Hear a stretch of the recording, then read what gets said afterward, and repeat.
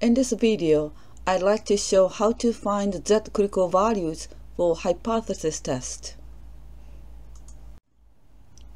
You need a cumulative z table. Also, you need to know the meanings of hypothesis testing and critical values. This z table gives the area or probability to the left of z scores. The first column shows the first two digits of Z scores, and the top row shows the second decimal place of Z scores. First, finding Z critical value for left-tailed test. Step 1. Since this is a left-tailed test, the left area is given as the significance level alpha. Step 2. Because we use the left cumulative Z table, find the corresponding Z score using the left-tailed area. Let's take a look at the first example. Find the Z-critical value for a left-tailed test with alpha equal to 0.005. Step 1, since this is a left-tailed test, the left area is given at the significance level alpha equal to 0.005. Step 2, because we use the left cumulative Z table, find the corresponding Z score using 0.005. We need to locate the left cumulative area 0.005 or close to 0.005 from the inside of the table. We found two area values close to 0.005. Comparing the differences, we cannot use the either one since the differences are the same. So we take the halfway between those values. Go straight to the left to read the first two digits of the Z score and go up halfway between the two values to read the second and third decimal places of the Z score. So the Z score should be negative 2.575. So the Z score that corresponds to the left cumulative area 0.005 is minus 2.575. Therefore, the Z critical value for this test is minus 2.575. Next, finding Z critical value for right-to-tailed test. Step 1. Since this is a right-to-tailed test, the right-to-tailed area is given as the significance level alpha. Step 2. Because we use the left cumulative Z table, we need that. Since the whole area is 1, the left cumulative area is 1 minus the significance level alpha. Step 3. Find the corresponding Z score using that left cumulative area. Let's take a look at the next example.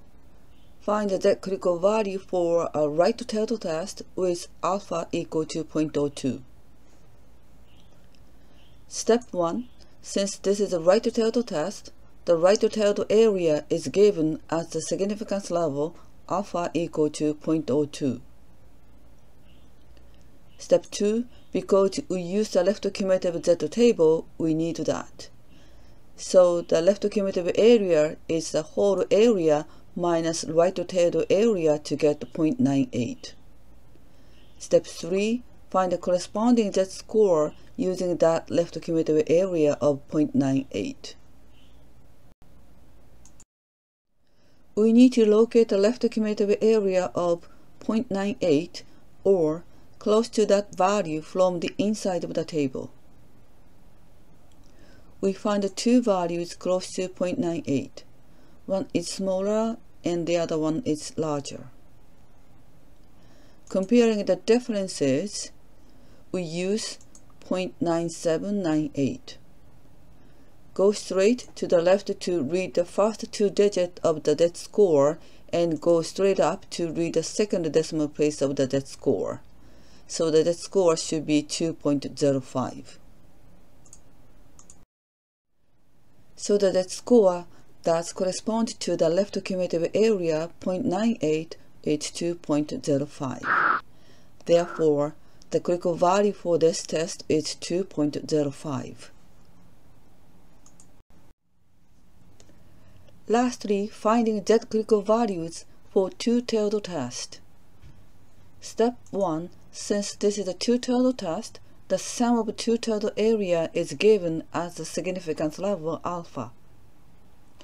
Step 2. Because we use the left cumulative z table, we need that. So the left cumulative area is half of the two-tailed areas. Step 3. Find the corresponding z score using that left cumulative area half alpha. Let's take a look at the last example for a two-tailed test. Find the critical values for a two-tailed test with alpha equal to 0.05. Step 1. Since this is a two-tailed test, the sum of the two-tailed area is given at the significance level alpha equal to 0.05. Step 2. Because we use the left cumulative z table, we need that. So the left cumulative area is half of the two-tailed areas which is 0.025. Step 3. Find the corresponding negative z score using that left cumulative area 0.025. We need to locate the left cumulative area 0.025 or close to 0.025 from the inside of the table we found the exact 0.025 area. Go straight to the left to read the first two digits of the z score and go straight up to read the second decimal place of the z score. So the z score should be minus 1.96. So the z score that corresponds to the left cumulative area of 0.025 is minus 1.96. Since we found the left critical value, we just change the sign to get the right critical value.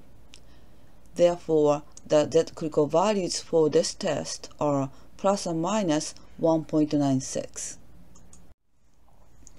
In summary, in order to find z critical values, we need to find the left cumulative area to look up the z table. For the left-tailed test, since we have the left area as the significance level for the test, we use that alpha to find the critical value. However, for the right-tailed test, we need to subtract the significance level from 1 to get the left cumulative area. Lastly, for two-tailed test, simply divide the significance level by 2 to get the left area. Once you get the negative critical value, then make it positive to have two critical values. Thank you for watching and see you again.